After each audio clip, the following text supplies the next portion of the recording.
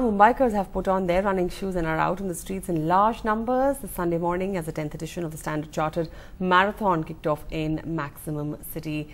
Indians participating in the marathon have an extra incentive of 1 lakh rupees for a new course record.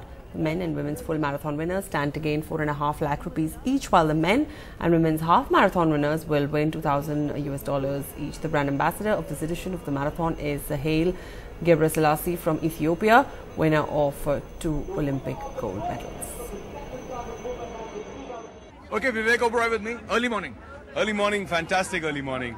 Beautiful sun rising.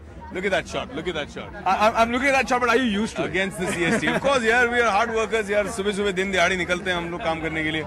Morning shifts especially. Okay. So what are you supporting this time? I'm supporting with the IMC, with Mr. Hiranandani. I'm supporting the Jaipur Foot Foundation, uh, which does prosthetic limbs for uh, disabled people.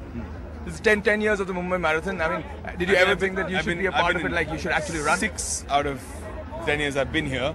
But you're right. You know, I've always thought of it. I've always seen Mr. Anil Ambani and I felt really inspired. I said, if he can do it, I can do it.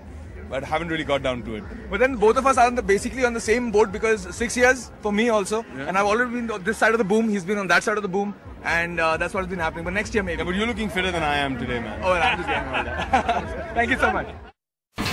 India's number one news app just got even better. Download NDTV's new app fully optimized for retina display, full screen view, faster response time, and Sudoku. NDTV's new iPad app. Download now.